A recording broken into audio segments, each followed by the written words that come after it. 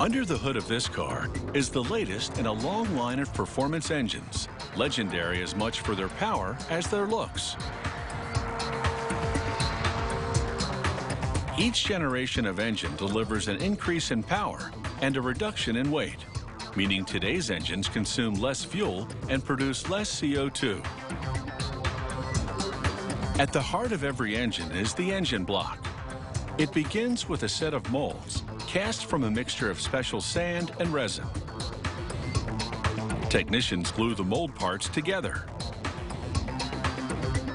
Using a hand file, they make final adjustments by sculpting the sand mold down to the finest detail. An automated machine releases molten aluminum into the mold.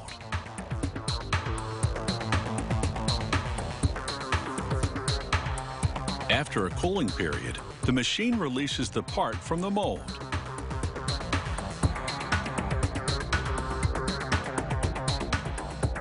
They must remove all the sand, which formed the hollow spaces inside the engine.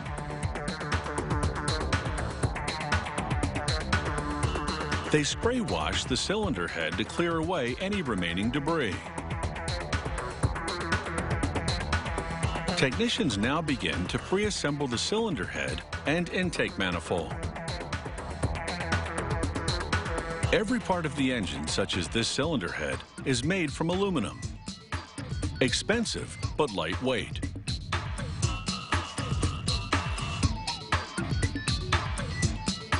Here, robots immerse valve guides in liquid hydrogen. This causes them to contract so they can be easily inserted into the cylinder heads. As the valve guides warm up, they expand slightly, which holds them in place permanently.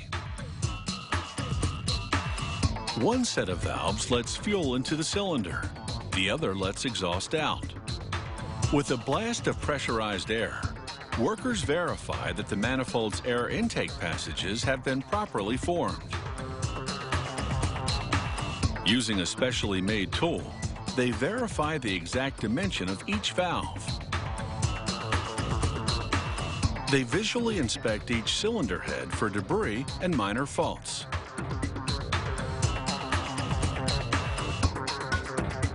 If it passes, a worker tags it with an ID plate. Here, technicians insert the valves into position, then test their movement. Next, they machine the crankshaft down to its final specifications, and the entire assembly is positioned in the engine block. A technician lubricates the cylinder liners, then inserts them into the cylinders. They tap the liners into position with a rubber mallet.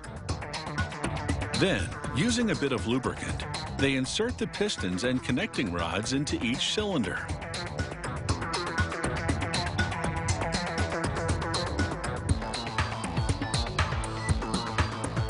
With the aid of an automatic torque gun, technicians secure the connecting rods to the crankshaft, then verify the crankshaft spacing.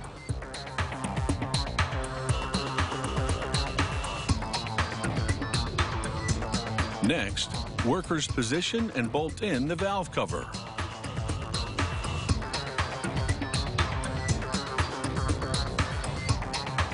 Then they install the air intake manifold on top of the engine and attach the fuel injection system.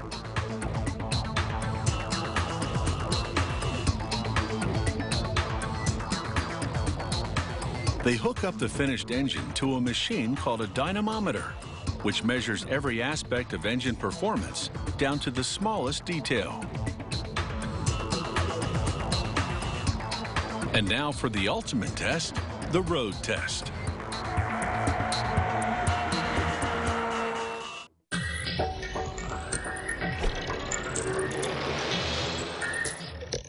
If you have any comments about the show, or if you'd like to suggest topics for future shows, drop us a line at sciencechannel.com forward slash how it's made.